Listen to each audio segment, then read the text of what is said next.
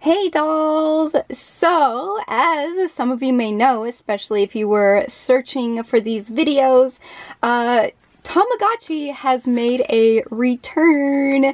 They made their comeback because of the 20th anniversary. The only two places that I know that carry this are Target and Walmart. If you know of other places, feel free to leave them in the comments section below to help other people out. But if you guys aren't familiar, Tamagotchi is a little virtual pet toy that they used to have many, many, many, many years ago. And I had one of these growing up, which I ended up getting rid of or selling at a garage sale or something.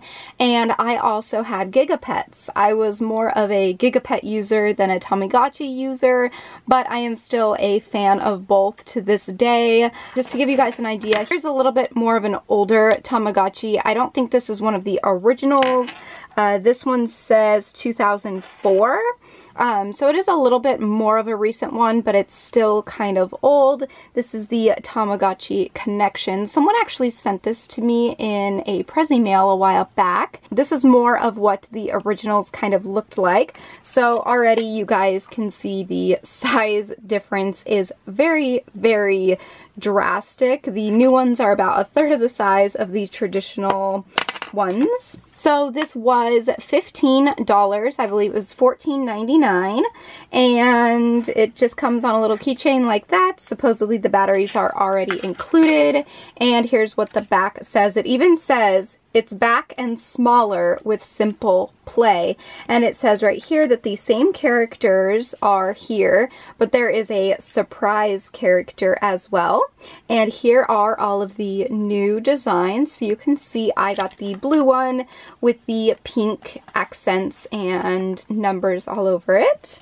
So comparing the new to the old before I even take it out of the packaging, just looking at the visual concepts. Uh, I prefer the older style so much better, uh, mainly because it's bigger. You have more of a chance of holding on to it easier and being able to see what's actually on the screen, whereas this one is super compact and for some people who might have a harder time seeing smaller things, this could be a little bit of an issue. Also, I do want to mention the type of keychain. I prefer these types of keychains. However, you also have to remember that these toys are targeted towards children 8 plus. So eight-year-olds may have a little bit harder time operating keychains like this, like opening them up, and maybe they don't have strong enough fingers, or maybe their fingernails aren't long enough to, to work it properly. So I could see why they wanted to give it an updated look and feel with this type of keychain. You guys have probably seen and used one of these types of keychains before, as well as one of these. So basically those are the two visual things that I have found. Also, you have to remember that these are made for children and children tend to lose things very, very easily. So why would you want to give them a keychain that is a lot more flimsy so that they can lose it a lot easier? And the fact that it is definitely much smaller than before, there is more chance that it could get lost or even stolen. I know that sounds weird to have to think about someone stealing a Tamagotchi toy, but it's very possible. They are highly sought after these days. But as I said before, this was about $15, and when you compare it, is this really worth the $15 if it operates the exact same way as the vintage style ones? I'm not 100% sure. I guess we're just going to open this and find out what all the hype is about and see if it is the same or what. It does have kind of the same scenarios on the front. You hatch it, you feed it, you clean up its poop, etc. But yeah, we're just gonna we're just gonna dive on into this. Here are the in little instructions. Let's go ahead and open it up. Um, you can set the clock, which is great. Uh, that's another feature that this one right here had. Um, sound, you can put your sound on or off, which is another amazing feature. It does have a replaceable battery, so if it dies, you can just get a new battery and keep playing. I'm not sure if the character resets um, if the battery dies or not. If you know anything about that with the new version, go ahead and let me know in the comments. But here it shows the character growth. If you can see this right here, it says it starts out as an egg and then a baby Chi, and then an adult Chi, and then a rare character of some sort. So here are all the little things that you can do. Feed it a snack. It literally just says poop. when Tamagotchi character makes poop, push the A button to clean it up. uh, then it says light, when it's sick, to call it, feed it, all that fun stuff. I'm not going to go through and do a full playthrough, quote unquote, with it, but I'm going to go ahead and open it on up and see just kind of the basic initial setup of everything. So here is what it looks like, and there is this little tab right in here that you just remove, and it's alive, it's alive. There's my little egg in there. As you can see it kind of bouncing around. And I don't know which buttons I'm supposed to push, but I'm just going to push the center one and this is how you set your clock. So I'll go ahead and do that really quick. Okay, so I just set the clock to 6.23 p.m. And there we go. So now it shows it. Sorry for the glare, but you can see right there, 6.23 p.m. And then I believe if you click the center button, it will show your little egg dude again. So, um, oh, He's wheeling around in there. I'm sorry for this glare. Oh, is he hatching? it just hatched! Yay! It's a little baby now. How cute, my little baby egg dude. He's all bouncing around and everything. Very cute. Am I feeding him? Okay, so we're going to press A. And this is candy, so I'm feeding it candy right now. okay. And this one is playing. Or nope, that's eating also. I think that's the food one. Alright, and how do I play a game? Let's see. I don't know if there is an option to play with it.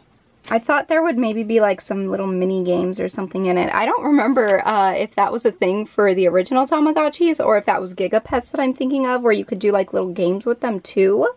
Uh, but yeah, pretty much it's just like a pet. You just feed it and then you can kind of just like set this down and leave it alone.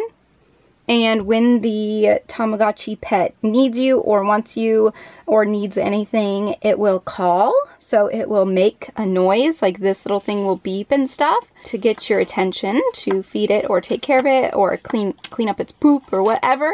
So it says when the Tamagotchi character calls, please press the A button and take care of it.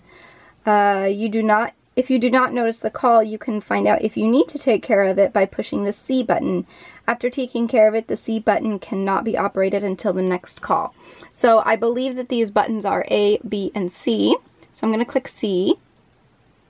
Oh, and it's not operating. So my little dude is very happy and does not need my services at this time. Just real quick, I'll tell you guys the A button is for selecting and taking care of your Tamagotchi. The B button is for deciding which choice to pick. So you guys saw like when I clicked A, it brought up these options. And the B one selects which one it is, while the A one you can kind of select up or down. Um, so there you can see like if I click A, it kind of, can you see this? Is this difficult? Sorry. It kind of bounces back and forth and then you click B to select whatever it is if you want that. And then the C button is to cancel or check the condition of your Tamagotchi pet.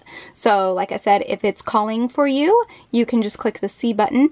And right now I could click the C button to cancel out of that menu. So that's pretty much the basics of it. And then you just set it down or put it on your bag or whatever and wait for it to scream in the middle of the night and wake you up out of pure terror and tend to it. Make sure you feed it and clean up after it and go back to sleep until it screams at you again. I will tell you guys uh, how to um, do the sound on and off. It says right here, Press and hold C button and press a button when you see Tamagotchi character in the screen. You cannot change sound if you need to take care of the Tamagotchi character. Uh, please be careful. If you set off for sound, you will not hear the Tamagotchi character's warning or calling sounds. So, always keep that in mind. You can have it on silent in case you're going somewhere and you don't want to have your little thing beeping like crazy and screaming and wanting attention, uh, you can give it a do not disturb button pretty much and it won't be vocal and obnoxious. But because you won't be able to hear its screams and cries and whines for attention, it could go uncared for and possibly die. Overall, this is the new 2017 Tamagotchi from Bandai and yeah, basically all I have to say is that I miss the old style and I wish these ones came back in this traditional big design. But yeah, for now, this is tolerable. This is okay. It's more compact, but the style of keychain is a little Mm, it's not as high quality in my opinion because I feel like this could come apart or break easier than something like this would. And for $15, you're pretty much paying for semi-decent quality, so I kind of regret that it's not like that. But yeah, overall, let me know what your guys' opinions are of the new Tamagotchi in the comments. And also let me know if you were a Tamagotchi player or a Gigapet player. And let me know in the comments down below uh, if you plan on getting the new Tamagotchi yourself. And with that being said, I hope you guys enjoyed this video. And I hope it was somewhat helpful for you guys. I will talk to you all in my next video. So until then, so long, stay strong, stay true, and be you. Alright.